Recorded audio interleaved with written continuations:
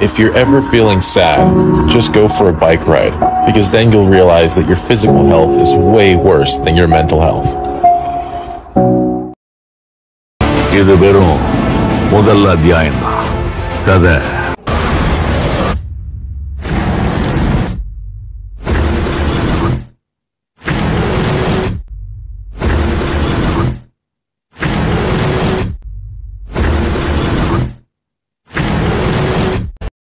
இனிமே அதை ஆரம்பிக்க போகுது.